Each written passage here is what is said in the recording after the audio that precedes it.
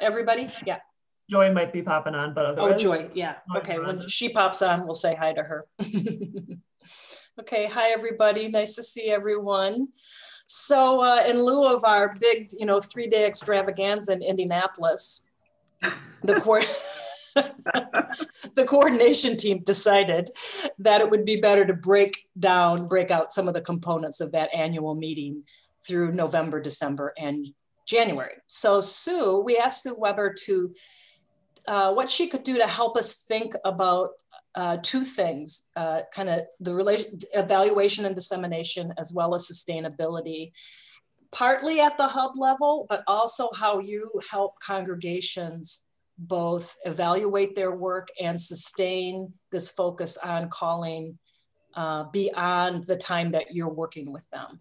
So she knows that as grantees, we don't have to sustain these projects in our institutions, but the issue of sustain, we want the work to be sustained, you know, this focus to be sustained beyond this time. So uh, she's gonna do this presentation for us today and then give us some work to do, homework to do for a session in January after the holidays, okay?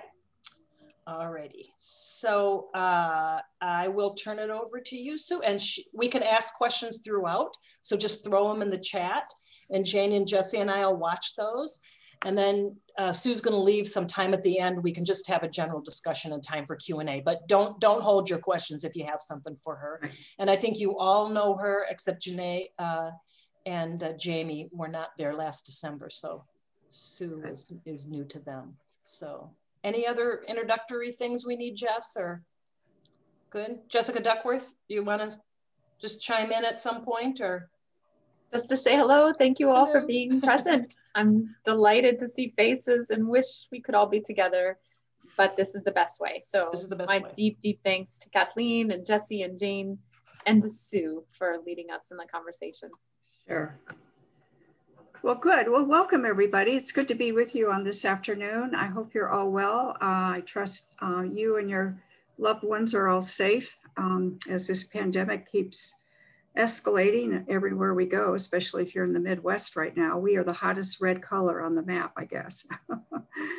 um, so today, as Kathleen indicated, uh, and through all the email exchanges, we're going to talk about sustainability so today is more of an overview, kind of a theoretical, what we mean by sustainability and the, the various elements that go into it. Um, as Kathleen indicated, um, I welcome your questions as they come to mind. So put them in the chat and we'll, we'll track them. And if we can't get them to them at that particular moment, uh, we will certainly circle back at the end. We'll, we'll um, provide enough time at the end to just have a conversation. Uh, but I'd like for this really to be a conversation among all of us. I'm going to show a, a bunch of slides uh, that just reinforce the theory. Uh, I believe there were two documents that were sent to you as well. Uh, so we'll, re we'll reference all of those. Um, but um, really, it, this is your time. Uh, we want to know what your questions are, what your thoughts are, and, and perhaps how much have you already done uh, already to contribute to sustainability. Does that make sense? Good. So uh, I'm going to share my screen. Maybe. Let's see here.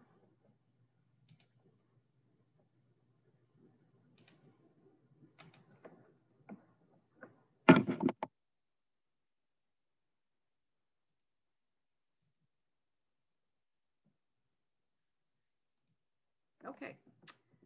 So I'm going to walk through these. Um, I can't see the chat because I've got the screen in front of me, but I think you can, Kathleen, and okay, and Jesse. So we're here to talk about both evaluation and sustainability um, from more of a theoretical point of view uh, in order to create strategies for the long-term sustainability of your program, but also how can you can help the congregations you're working with uh, think about sustainability as they go forward.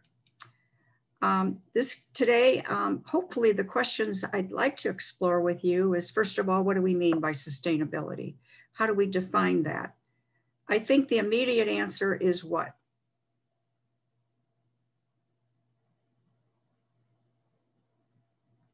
Money? Funding, okay. And how does, and then secondly, how does the work of evaluation uh, contribute to sustainability?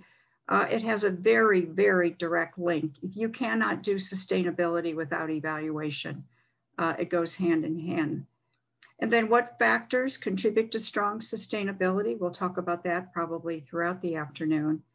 And then uh, just a little bit of how do we assess a program's capacity for sustainability. That indeed will be the homework um, that I'd like to offer you after the holidays. Uh, I don't want to send it as a Christmas present. I'd rather do it first thing in January. And then to talk about a sustainability plan, especially in um, January. So in evaluation planning, uh, if you've read Kathleen's book, uh, Projects That Matter, uh, evaluation planning is something you should be engaged in now and also your congregations. Um, it's about designing an appropriate strategy in order to gain a body of knowledge about what's working and what's not working uh, in order to not only improve your programs, uh, but to be of value to those who care deeply about your work. Uh, for example, from a congregation's perspective, if they've got something going on that is, they see a real value and benefit, I could imagine that they could um, share that kind of body of knowledge uh, with other congregations within their tradition uh, or neighboring uh, congregations who might be of interest to it. Um, so there is an audience out there. It's a matter of getting in touch with who is that audience. One of the things that um, I talked about, I think the first time I, I, met with you, was about creating a theory of change. Um, your programs as a hub really outlined in your Lilly grant proposal, um, or back to the coordination program, a theory of change. You said if we do this, this, and this, then this is going to happen. So in other words, as it says there on the screen, um, it's the systematic linkages that align your program's overall strategy, what you're going to do and how you're going to do it, uh, with, the, with a larger overarching goal to achieve something of lasting value. And taking uh, from another uh, Lilly uh, program uh, initiative, uh, here we use young adults living and working through the lens of, of vocation. Those were many, many campus ministry programs that help people really reflect um, on their life, their, their life trajectory, and how they would look at it through the lens of vocation. Um, that was the goal, um, but there were strategies to get to that goal. There are strategies in your hub and there are strategies uh, in your congregation. I'm going to stop sharing that for just a moment and share yet another um,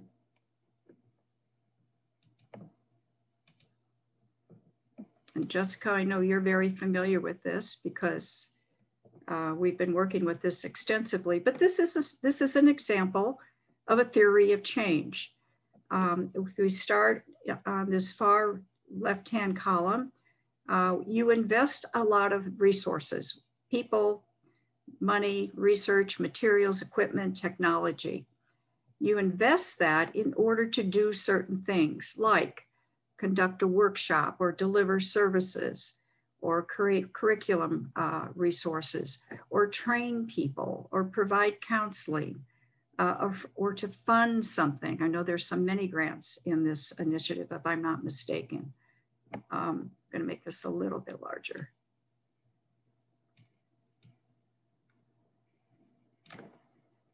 um, or to facilitate or to partner. Those are the activities in your grant proposal. And the audience of, of those activities are obviously the participants. For you, the hub, it's the congregations. For the congregations, it's its members. Uh, there may be also other outside clients or other groups uh, other decision makers and organizations. Um, as you can see, this is very generic. Um, so it, it, really has to be tailored um, to your particular uh, program or project. And then every time we engage in something that is brand new, that is in many respects a grand experiment, uh, there are some immediate short-term results. Um, people learn something. Um, and Kathleen, correct me if I'm wrong, but I believe that one of the first things um, the hubs engaged in was uh, theological reflection. Would that be right? Did, uh, certainly some did, yes. Okay. Mm-hmm. So you, you learned how to do that. You became aware of it. You gained knowledge about how you could apply it. Uh, it changed your attitude if it was a good experience. Uh, obviously, you would learn some skills. You may have an opinion on it um, and aspirations or motivations. But those are the short term results. You pretty much, as a hub, learned some things or became aware of some, some things that you could take back to your congregation. Is that making sense so far for everyone? I, I can only see half the group, so I'm just assuming everybody's okay.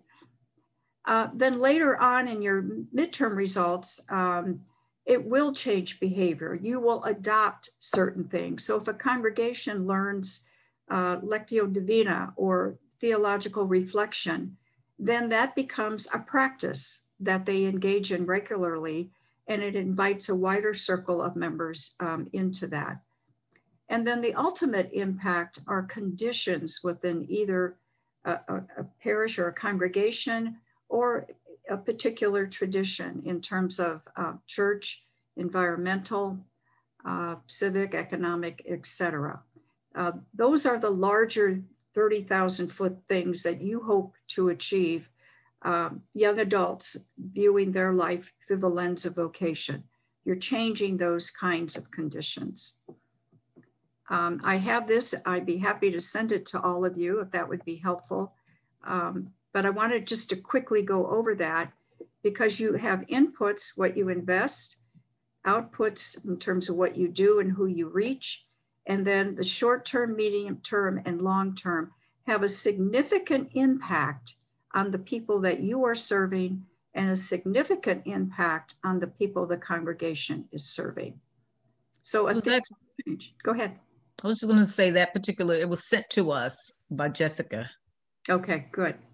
So this is very helpful for you to fill out as your own activity uh, in reflecting on your program uh, to fill these out. And I'm always available to you individually um, to help you do this. Um, it, it, it's an exercise, but it'll be really meaningful when you go about evaluating your programs.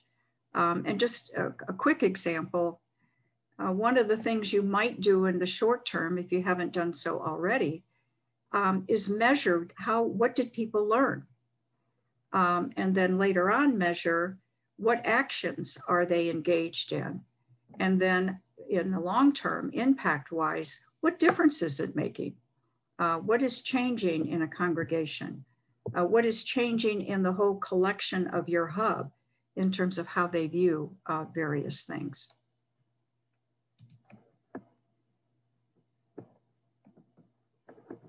I'm going to go back to my slides. So that uh, the theory of change becomes very important. And um, again, I would remind you that um, the, the evaluation project through myself can really help you uh, complete that.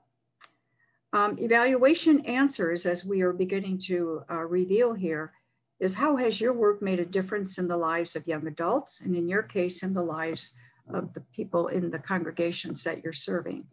And how do we know? And that's where you collect the evidence. The evidence could come from uh, surveys, perhaps, it could come from interviews, it could come from observation, it could come from reading documents that are submitted to you. And as a result, what claims can we make about our program?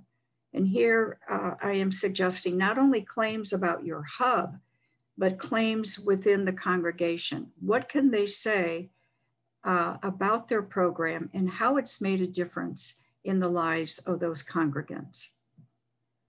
And so your evaluation work, however you're configuring it, should be able to help you gather that concrete evidence. Uh, evidence of change, is, as we saw in the theory of change, uh, relates to knowledge uh, that they have gained, actions that they take on, perhaps conducting a program, conducting a particular kind of, of activity. Uh, it changes people, people's behavior and it also changes their attitudes about something. Uh, this is just an example. I think we went through this um, the last time I was with you, uh, but this is an example of an evaluation plan. Uh, it, and this comes right out of Kathleen's book in terms of the formatting. Uh, you know, what are the questions that you want to answer in your evaluation? Um, I'm sure that there are many, many questions that you have, but to ask the questions that are going to be of value and benefit to help you sustain the program down the road. Uh, we can continue to collect lots of information, but if it has no utility, then don't ask the question and don't collect the information. Uh, really streamline your evaluations uh, to really look at what is it we need to learn in order to, to move towards sustainability. so for example, here, the question would be, what is the long-term benefit of a financial planning workshop? Um, this came from a question, this question came from an initiative that is looking at economic challenges uh, facing pastoral leaders. Obviously, the data sources are the pastors. The method was a survey. Uh, Joe Smith will be responsible and it will be conducted in spring 2018. Um, a second question that became very important was how confident in that, that initiative are pastors in articulating a th theology of fundraising. Excuse me. Again, the same uh, data sources, pastors and members. And then in this methodology, it was a survey followed by group um, interviews, etc. But that's just a very quick snapshot, if you will, of what an evaluation plan would look like. Sue, before you move on, could I, uh, uh, Claire asked a good question in the chat. She asked, uh, do you have any advice about how to get honest feedback on the question of how the grant has made a difference in congregation work, given that congregations may be inclined to give more positive feedback to us as they request continued grant funding? Um, if you feel that that's somewhat of a, a barrier or an obstacle, um, it might be you you might want to engage uh, someone externally to help you with that, who would be objective, who would be neutral. Um, but there are ways of asking the question um, that, that could get around that as well. Um, sometimes not just asking how it's made a difference, but asking questions relative to the specific elements of the program uh, and measuring that either through survey or interviews. Um, might also reveal some things that um, that they that they can offer you. Um, I, I, I, I'm not sure why they wouldn't want to share with you. Is there a reason for that?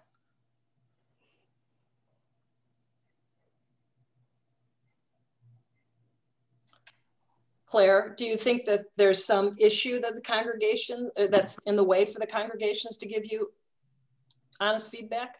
No, and I'm sorry, there's a bit of noise in the background oh, here. That's good. No, just a large, I mean, our congregations are generally pretty transparent. It just seems that that evaluation question is asking them to um, give you give us more textured response. And I just wonder about, you know, following on our previous discussions about how grant and the language of grant may shape our programs and our relationship with congregations, if you've given any thought to just what you said, kind of strategies to get more um, textured, real, serious feedback from them. Yeah, well, I think, Claire, one of the things here um, is multiple methodologies. Um, one might be a brief survey followed up then by some interviews. Uh, you might ask people to even do some writing or journaling for you that, that could be shared. And then putting all that together thematically um, rather than, than leaning heavily, for example, on a survey. Uh, I work with a, a, lot of grantees who think the survey is the end all be all of evaluation. Uh, and it really has to be complemented, uh, in my mind, uh, by some other methodologies so that you can really compare and analyze why did they say this in a survey and um, something else in an interview? Make sense? And I'm sorry for my dog.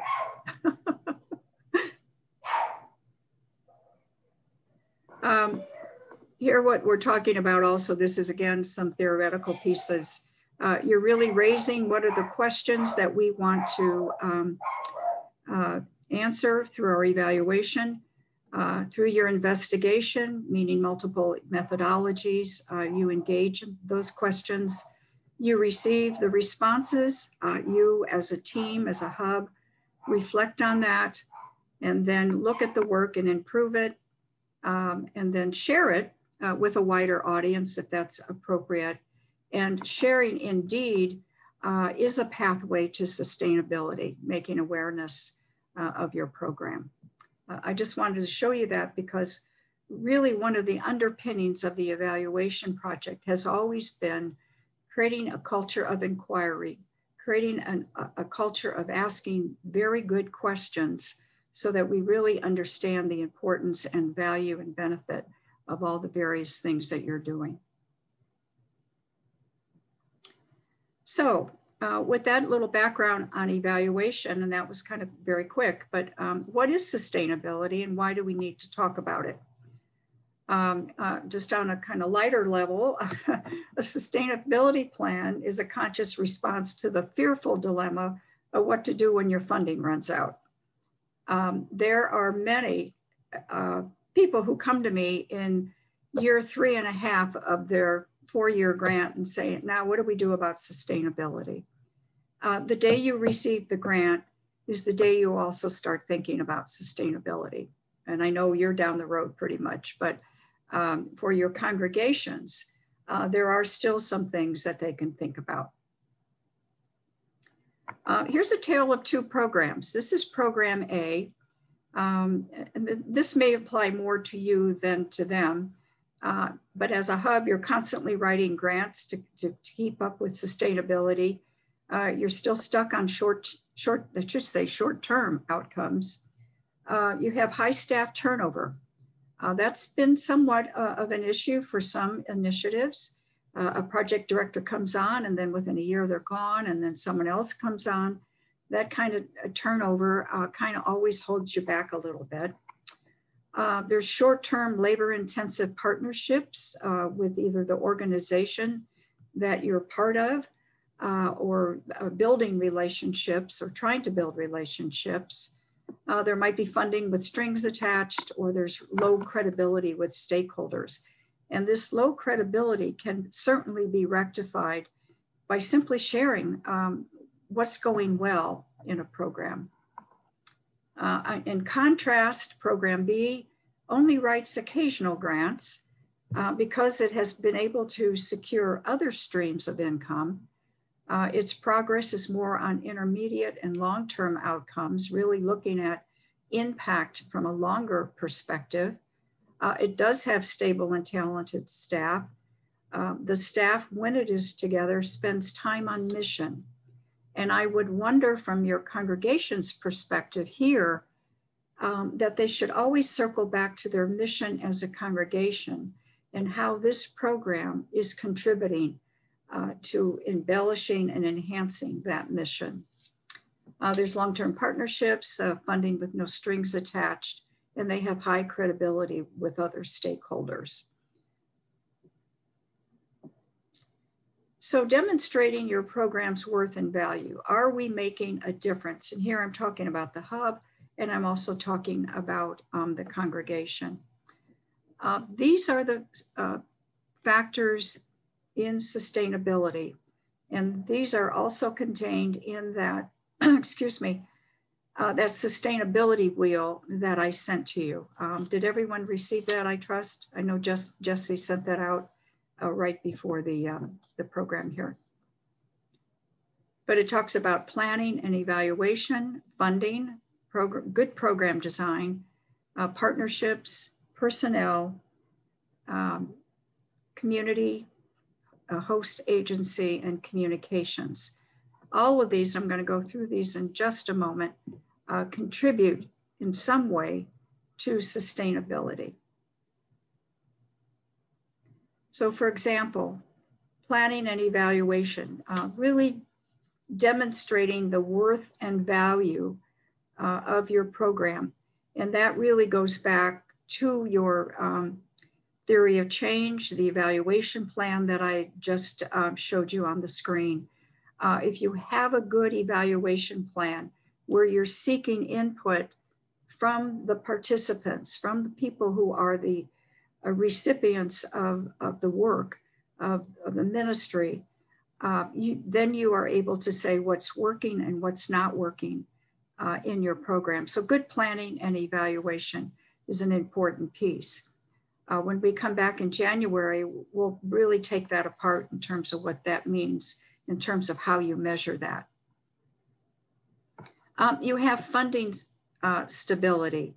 In other words, you don't lean heavily on grants, uh, but you look at other multiple sources of income streams, uh, whether they're contributions, uh, whether they're other grant sources, whether they're endowments, um, I just learned the other day that there was a, an, an, initiative some years ago by Lilly Endowment, and um, the the, the host agency believed so much in what they were doing, they immediately started an, endow- an endowment for it.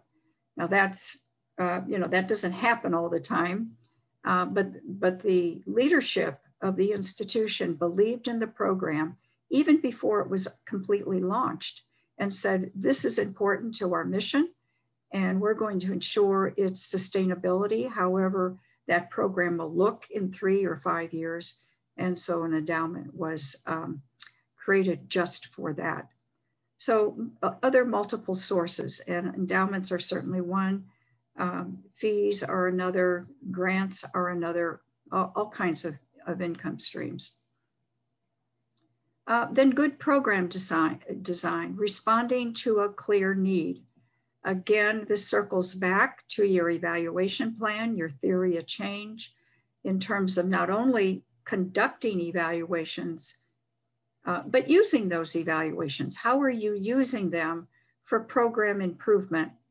Uh, what parts of your program, and I'm talking now of the congregation as well, what parts of your program are working and what parts of your program are no longer relevant. So let's put that to the side and um, uh, really focus on what's important to the participants um, as they continue to participate or as you gather other people uh, to participate in this.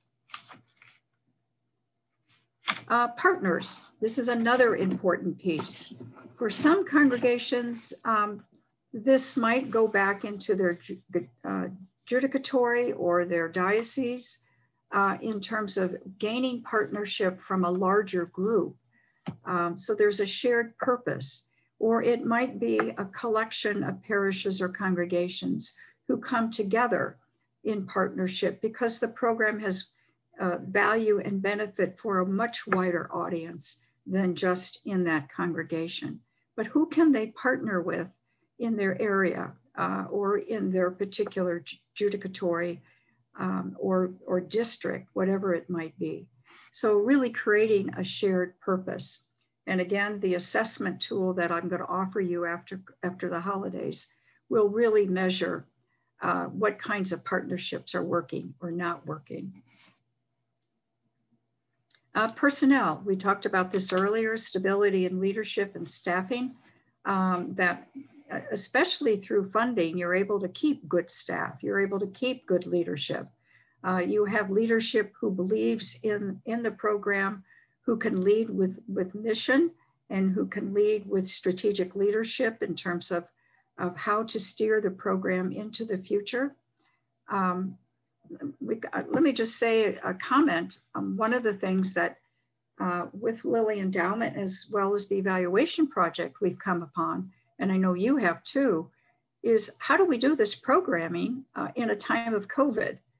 Um, and to really be strategic in what's going to work on a screen and what's going to work um, in some small groups in a room with a mask on, uh, what's going to work.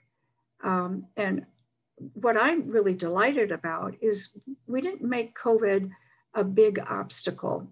People really became more innovative and creative in how they did program delivery. Uh, and obviously Zoom, we, we leaned on heavily, but I think all of us, myself included, um, have learned to use Zoom in a better way. Um, and hopefully we will kind of diminish our dependency on Zoom uh, by next year at some point. But really the leadership really looking at that kind of obstacle, uh, like a COVID situation that we're in, a pandemic that we're in, and saying the program is of value and benefit, but how do we, con- how do we continue that uh, in the kind of environment that we're in? And I just want to sh just share one more screen to kind of demonstrate that. Can all of you see that? Get a little larger. Um, when I talk about that, it's about emergent strategy, meaning your program, the congregation's program, had a particular way of going about its work. That was its strategy. But as we talk about COVID um, in, in this context, that particular deliberate strategy, for example, Kathleen's saying, you know, we're not together at the Alexander, so there's no nourishment hubs, there's no gatherings, there's no opportunity to, to be together. That strategy had to fall away um, because of the conditions that we're under. And in that came an emergent strategy, a new way, if you, if you would, about how to go about programming, how to go about different methodologies that still meet um, the particular aims that each of the congregations have. And that in turn becomes an important part um, of the strategy of that, that congregation and of this hub.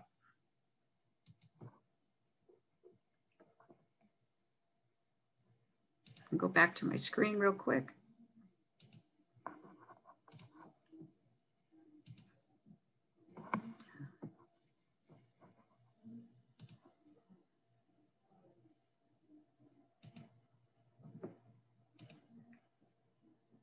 How did we get over here? Lost my place here.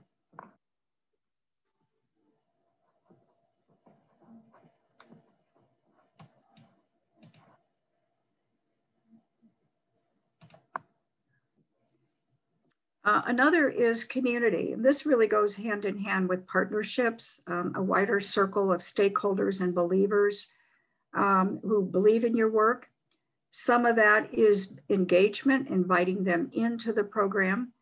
Some of that is writing about it, um, perhaps journal articles or newsletter articles, um, or speaking about it in a public forum uh, with others who might um, be of interest of it.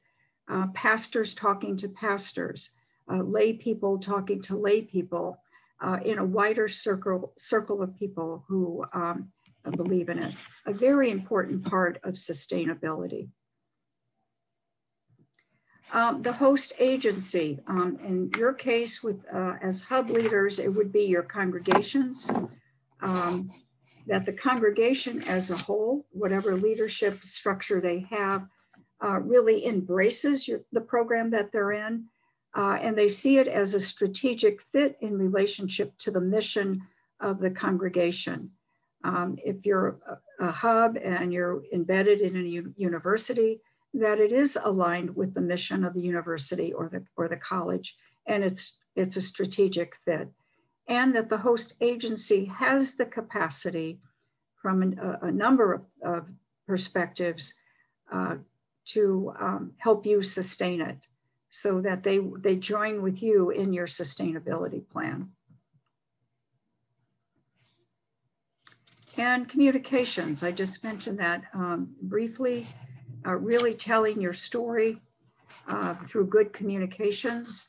Uh, not only, as I said, um, speaking about it, but writing about it, journaling about it, um, promoting it uh, among the, important um, stakeholders that you can identify.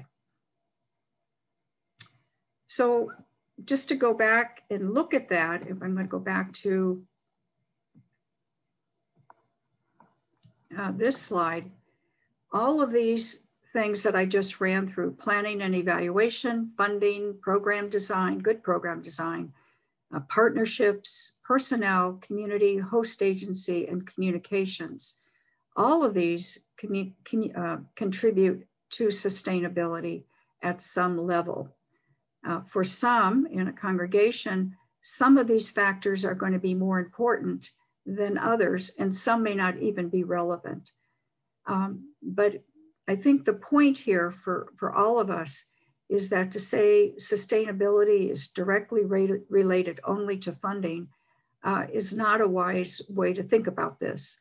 Um, really to think about it from the perspective of how you gain others, how you widen, um, how you widen people's knowledge of this program, invite them in and uh, engage them in the program uh, by these various particular factors that I just outlined.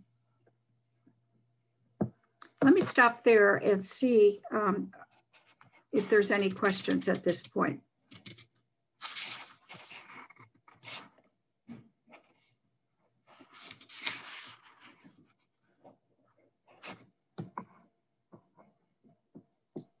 Any questions? Nothing so far, Sue. Okay.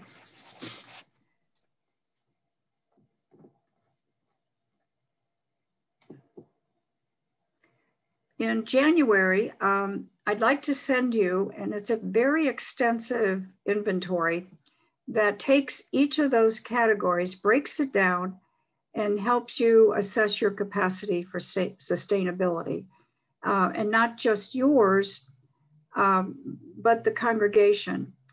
Uh, one of the things I, I said to Kathleen in particular, the instrument is pretty involved, and I wonder um, what I'd like for you to come back with in January is to help us understand how can we streamline this, um, this assessment tool uh, for congregations because some of it will be kind of, and I, I say this kindly, some of it will be meaningless to them. Um, so what, I, I, really am going to seek your, your feedback on how we could streamline it so you could apply it in a congregation. I think, I think there's ways to do it.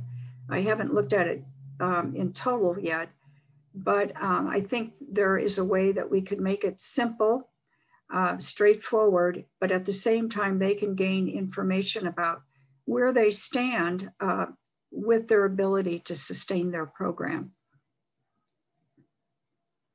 And just finally, I want to say through these slides, um, to remind congregations that sustainability is um, an orientation, not a destination, meaning once they gain sustainability beyond a grant, they still have to work at evaluation. They still have to work at strategic planning. Uh, they still have to work at communications. They still have to work uh, with their partners. So it is an ongoing process that really requires people uh, to be mindful um, that evaluation and sustainability continue uh, going forward. It's, it's continued work, maybe at, not at the intensity that we talk about in the beginning, but certainly uh, there has to be good evaluation along the way. Um, and there has to be a really good attention to all the elements of sustainability uh, that I've introduced you to today.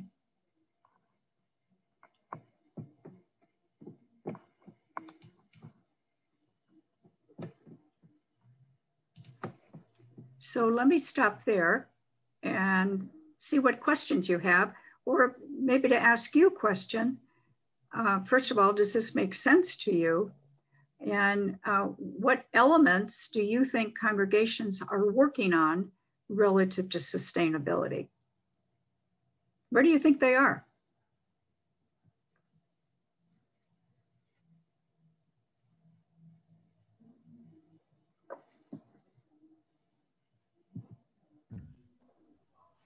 Uh, I'll just say, I, I, think that our congregations are just beginning to think about that. Like they see that's coming ahead of them as an issue. They're not yet thinking, what, what are all the factors in sustainability? So it's not really, it has not become a practical issue for them yet.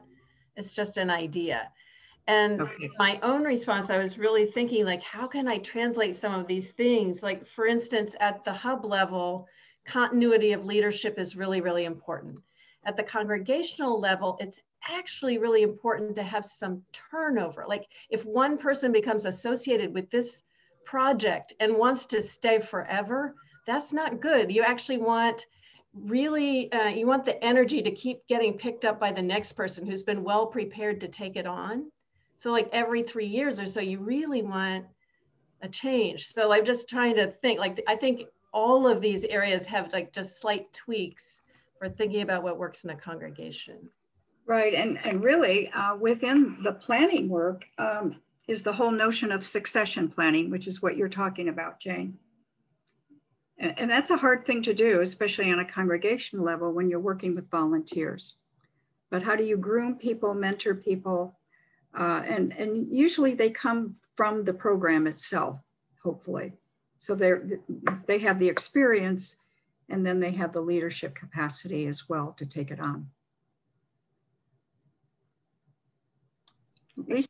Yeah, um, thank you. I, um, I was struck too that as you asked the question that if I just scan across our congregations right now, I think if we were to begin to talk to them in the language of sustainability, they're going to, out of level, at various to various degrees along the the COVID anxiety spectrum, they're going to go to the sustaining the congregation level. Like the the anxiety is, are we going to be there tomorrow? The building, them, all the things we all have been reading and know and following. Um, and in our practice, I think what we're beginning to figure out is how do we help them recognize that the initiative, the thing we're doing with them, are actually core practices in being church, right? That they're not a program added to church. They're actually things that are showing some, in our case at least, some some evidence of, of grounding and sustaining people through this crisis. That my hope is we'll then find a way to talk about sustainability of the initiative as they're discerning a mission going for you know how they're joining god's mission where they are post covid whatever that looks like so so i'm fascinated by the work we need to do on sustainability or want to do out of baptized for life our initiative but i'm even more interested in how it could change the language of sustainability or the experience of what a sustainable congregation looks like more broadly um, after all of the turbulence of these last four years and then covid on top of it yeah. So that makes I don't know if that makes sense. I just I feel like there's a and it, as as Jane said, well, we're not we're early in the let's talk sustainability. But if we were to do it today, they would go, I think, to we're you know survival language, and mm-hmm. in many cases, and I think we we see a way through that that could be more generative. I guess would be my language. You know, Lisa, that's important um, because it really goes circles back to mission of the congregation. Mm-hmm. Um, there's an article and I can make it available uh, to Jesse to send out to all of you. Um, I think it's called Three Questions to Ask Now uh, in this time of COVID. and it, it is a wonderful piece. It, it is beautiful to do with theological reflection. Um, it talks about what have we lost during this time of COVID. And there are obviously multiple levels of loss on the personal level, um, on the family level and then on, on the congregational level. And there's some beautiful questions in there that lend themselves to group reflection. Uh, the second major question is what did we assume that is no longer relevant? For example, we assumed all of us, we would be at the Alexander today uh, doing this work. Uh, and, it, it, you know, I could be moving around and working with you and we could have all kinds of various activities, but this is the best we have. So our assumptions were thrown out the window. And then the third question is really to go deeper and say, what's emerging now as a result of this? And that's where the goodness is. And I think that's where they could circle back and say, our program uh, is contributing to mission, is contributing to congregational vitality, is contributing to our flourishing and it's keeping us grounded in who we are as uh, people of God. Um, but if you're, I'll, I'll, have, I'll make that available, that article, because it's got a number of questions in there that might be helpful to some of your congregations and, and you as a hub. Thank you. I saw that graph you had of the arrows that were, you know, aligning. Yeah. The, the, these initiatives may end up being valuable in ways we had not intended, and things we thought were going to be useful are not essential. Right, right. You know, even if we weren't in COVID, um, that graft and those questions are still relevant because our lives are changing way too fast. Um, many of us comment, myself included, about how quickly this year has gone by and you know the loss of so many things. But also we've gained a lot of things. Uh, we've, we've learned to build relationships in a, in a different way. Not the best way but in a different way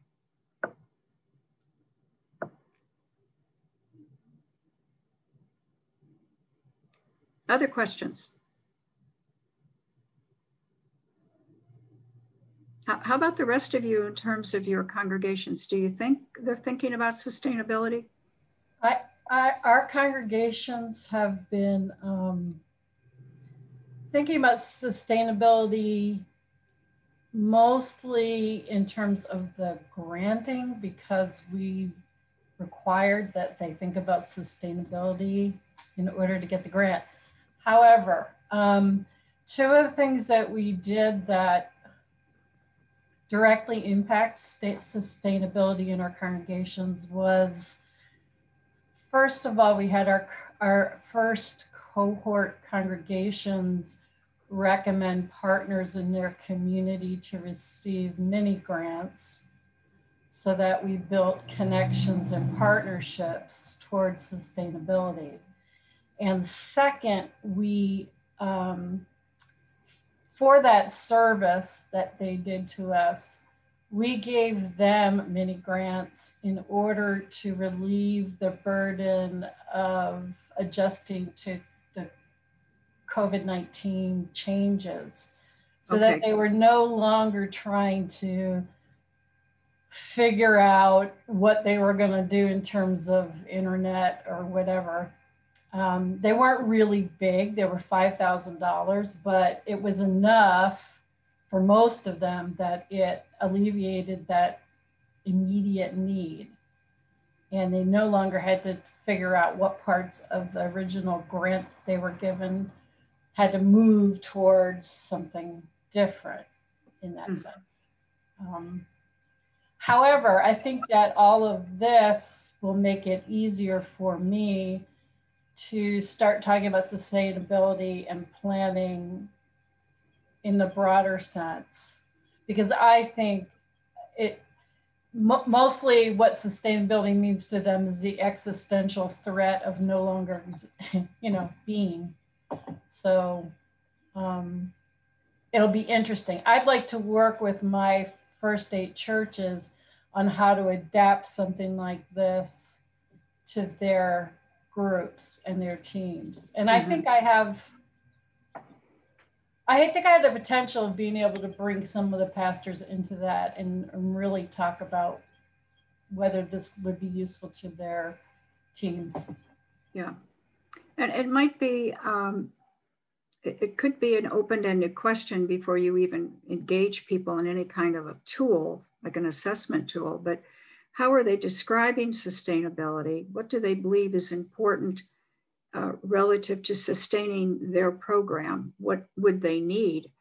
And try to get them out of the just the funding mentality, which is very important. I'm not diminishing that. But what other elements of their program uh, require some thoughtful conversation about sustainability? Uh, personnel, we've talked about that. Uh, resources, that might be another area uh, capacity for space if once we get out of COVID where people could gather. Uh, and you mentioned another one, Laura, and that would be technology.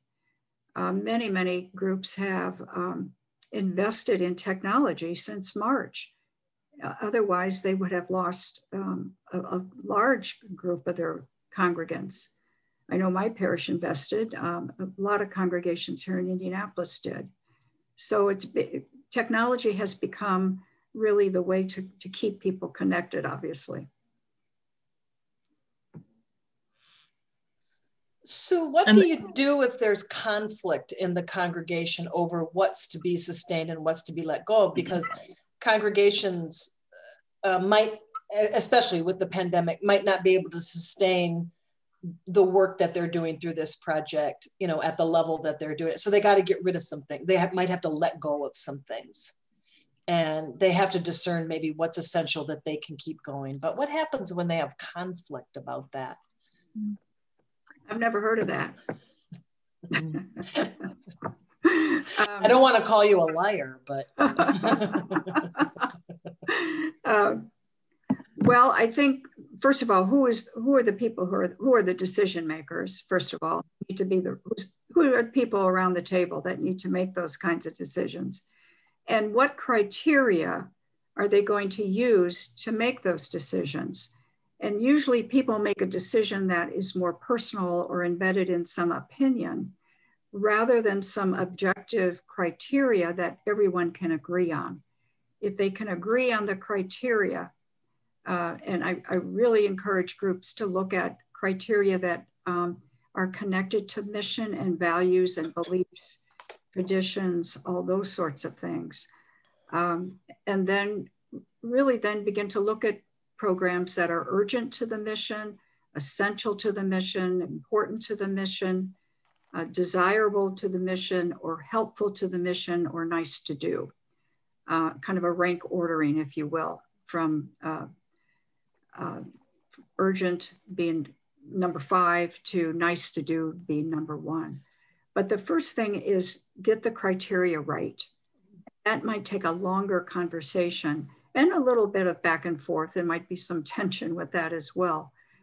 If, if people are making decisions just on, on um, opinions or um, uh, perceptions, that you are going to have that ongoing conflict. I was going to make comment um, that for our our congregations, and I think in general, one of the needs for sustainability is relevancy, remaining relevant during and through these times. We know that as an institution, for us as African Americans, uh, the church has always been an existential and ontological necessity for our survival and validation as a people and now not being able to congregate or come together, it is such a great void in how we process and engage just being in this country. Um, so looking at the impact of the pandemic and the changes that has brought forth, what is the relevance of the church and how can it be sustained not only for the resources that we've talked about, but being maintaining a relevance that is meeting the needs, the diverse needs that the congregation, I mean, the community and congregations currently have. Yes, and particularly yes. in the midst of uh, such political, social, and racial turmoil. Yeah.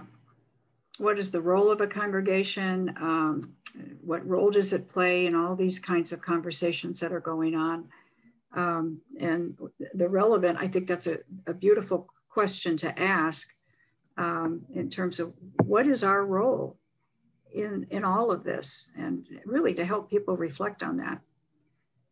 But part of it is framing the right questions that people can engage in together, both theologically and spiritually in, in terms of their own tradition.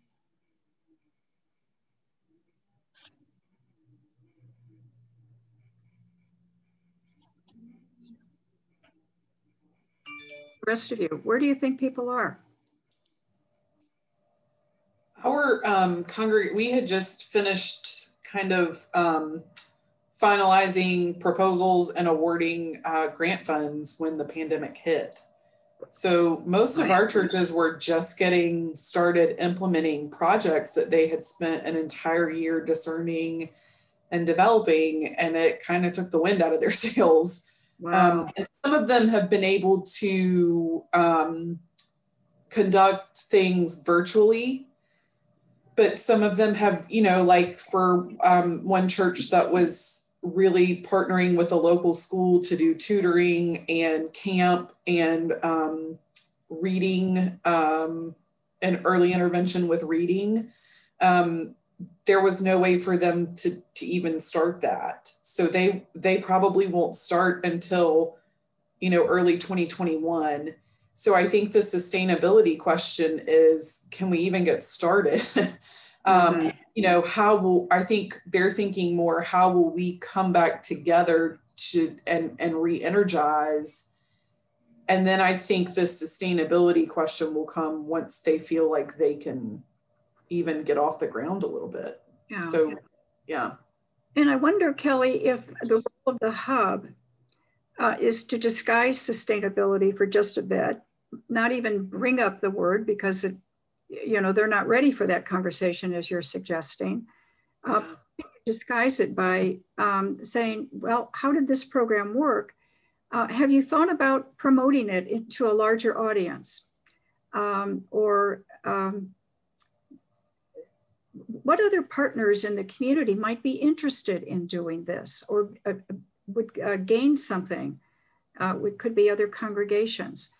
Uh, if you could ask those kinds of questions of them as a hub, that would begin uh, the sustainability wheel to really begin to turn a little bit without imposing this theoretical framework that they've got to all of a sudden embrace.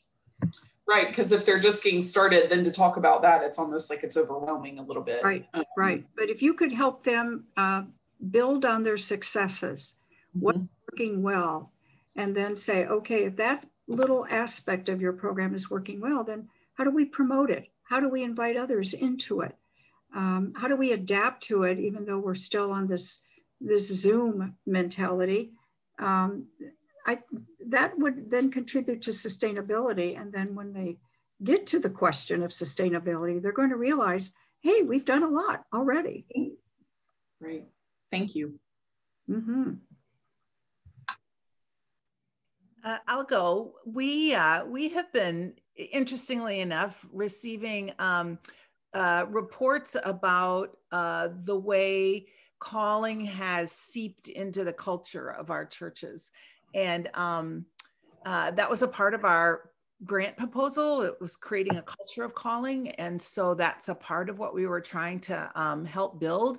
And um, and so for us, I mean, there are plenty of our churches that are struggling through COVID, just like any other churches, but um, lots of them are reporting that this theme, this theological theme, has been really sustaining them and really helping them to, to get through this in a different way because all of a sudden they're looking for, well, what is God calling us to right now? Like, what, how is that maybe unique and different from what it was before. So it's been pretty rich um, and and just hearing reports of that over and over and over again of um, we're really we're really seeing that we don't make decisions about uh, without thinking about now what are we being called to now? And and things like that which so that's all really good um, mm. and we're celebrating that. However as i hear you talk i'm going oh but we really need to talk to them then about how do you sustain a culture?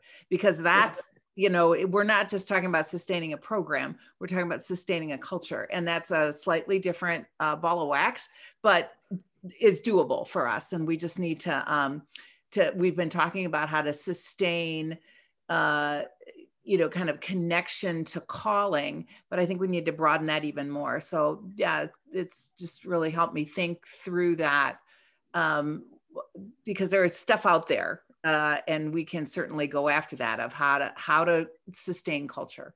Yeah. yeah. And what of the culture? You know, what what what of the culture has changed or been um, enhanced by, right. by, calling in some way? Right. To really get in touch with that. Uh, yeah. It's hard. I think what they're identifying as they go through this, and especially as they go through COVID, where they're going, gosh, before we would have just been lost. And now we have some sense of what we need to be paying attention to so uh-huh. yeah so that's been really gratifying but but that's not just going to magically stay so that's yeah. sustainability issue yeah and, and people as you, i think all of us know are looking are searching for meaning right now uh, what does all this mean? And, and where is god in this? And uh, I, I, would think that calling um, this particular initiative really helps that conversation.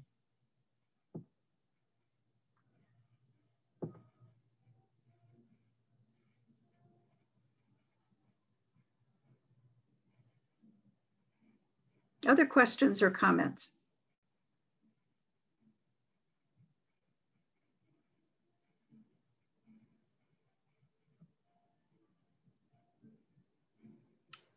Would you um, be interested in seeing the um, assessment tool after Christmas to really kind of engage in that a little bit?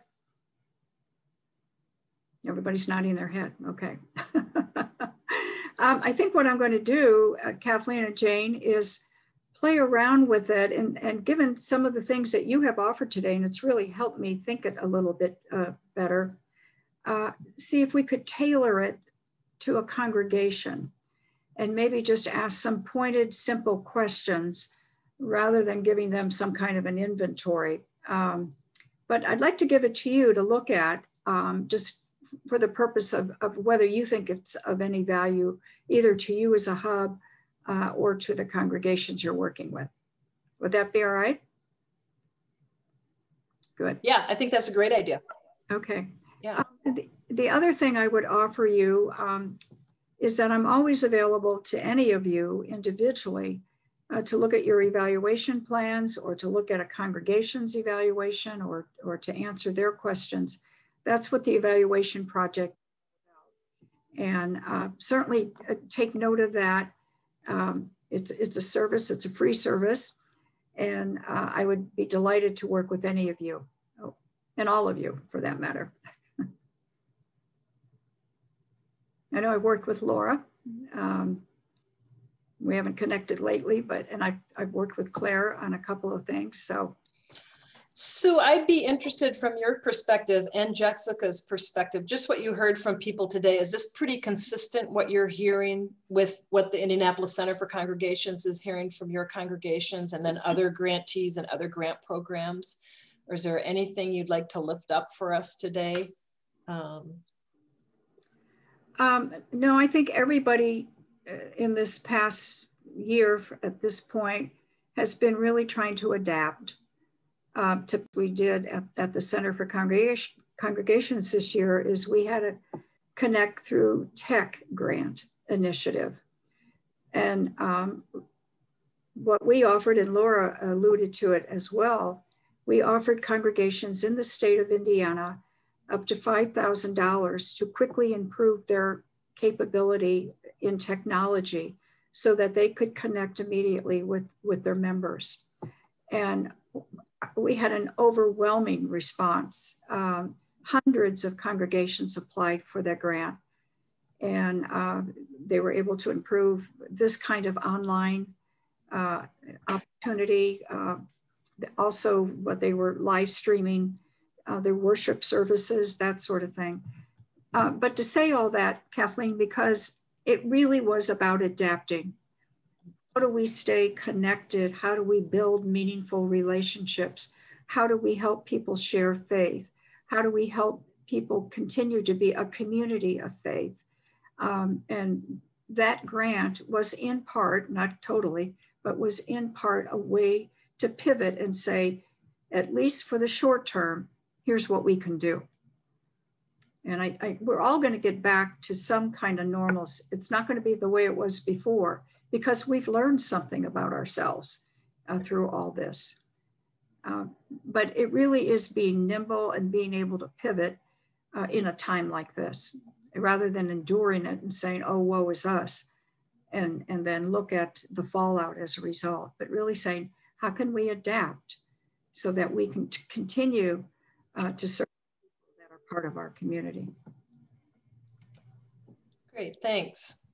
Jessica, I'm putting you on the spot. I didn't tell you I was going to ask you that question, but I just kind of wondered if you had any reflections you'd share. Thanks, Kathleen. Yeah, I um, uh, really appreciate, Sue, that emergent chart as well. It, it, it, that picture helps me so much to understand what has happened this year. And so thank you for that uh, the, the framing of sort of, you know, things we have to let go, right? Strategies that we have to let go and strategies that we've welcomed in and now are incorporating in. And I guess what I'd uh, just invite us to do in terms of evaluating and thinking about sustaining, there are certain things you've had to let go for the sake of letting go for this year. And then I think there are things that you're going to want to have that let go curve maybe dovetail back in in like a year, right? So you, you incorporated some because we had to, and you had to let go some. but maybe that other one bends back. Maybe it doesn't. Maybe you let it go completely. But I think for some of us, some of those un- some of those things we had to let go because of COVID may dovetail back. And that's where this evaluation piece is so important because what, you know, Kathleen and Jane and Jesse and I wanted you to hear from Sue is that you had intentions and a lot of those intentions were really good and they've led you to where you are. You had to adapt this year, but it doesn't mean your original intentions need to be jettisoned or need to be completely thrown out, right? Your intentions were still really good. And th- that's what we want to honor, right? And that's why this is such an important evaluative moment for you as hubs. Um, and as we know, because this double hermeneutic is happening, you know, throughout this entire initiative, right? The work you do as hubs is is something that you can continue to mirror for your congregations as well. So as you're you're having these conversations yourself, and we want to encourage you to pass on what you think is helpful and impactful um, for your congregations. And that's where I would say, you know, what we're learning across initiatives right now is that, you know, a lot of the questions that Lilly Endowment asks people to wrestle with are perennial questions, meaning that they're kind of big and that they're not small. So even COVID can't necessarily rattle the big questions. There's a there's a through line, right? Um, and so I just invite you to return to the to, to the core, return to that which is um, of gospel, of God, of, of the convictions that you all are carrying into this work faithfully, um, and to help your congregations claim that as well. Um, I love hearing that this is saturating deeply into the core of your your theological uh, convictions of your own hub and your own organization, and that you're seeing evidence that that's happening uh, to change culture, to change the ethos, to begin not even to maybe change, but to deepen, right? To deepen and artic- bring to articulation things that we haven't said out loud, right? Um, so I want to encourage you all to, to, to, to, keep reflecting on that good work and reflecting on that, that, that uh, leaning in uh, uh, to what the moment has given us to see clearly um, and, and the ways in which we'll need to um, continue to remember and recall the things that we committed to at the beginning. Um, and that's the, the faithful work as we go ahead. So, but thank you all. This has been wonderful to hear the things you're doing.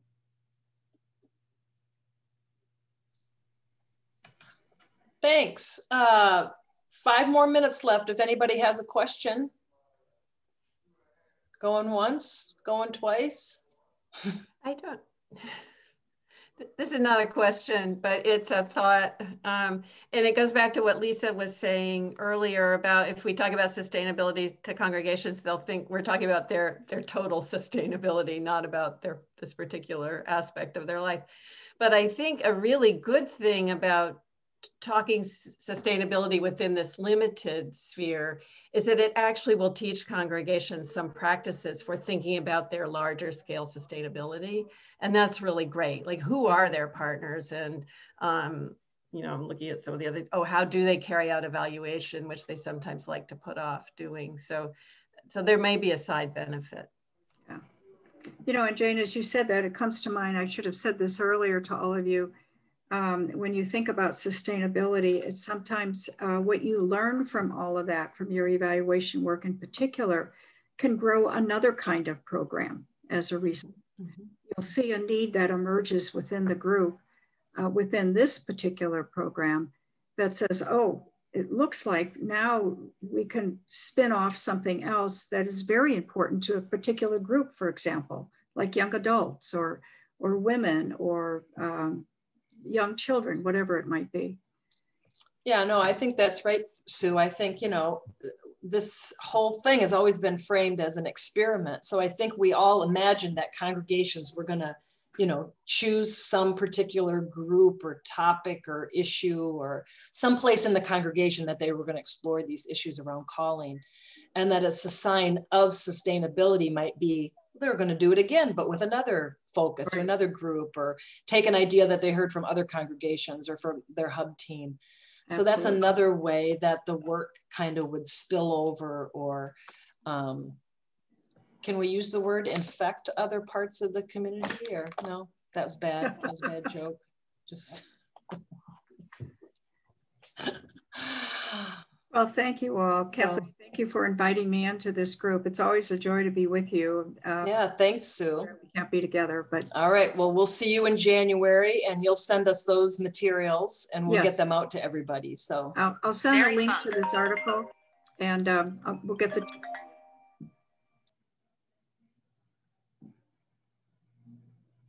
Thank you all.